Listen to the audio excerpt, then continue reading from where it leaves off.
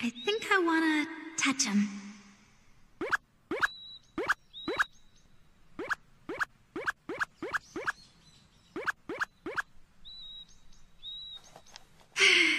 now that that's out of my system,